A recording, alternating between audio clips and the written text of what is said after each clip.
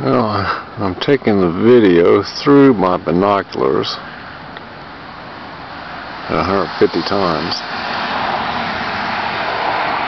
I told the camera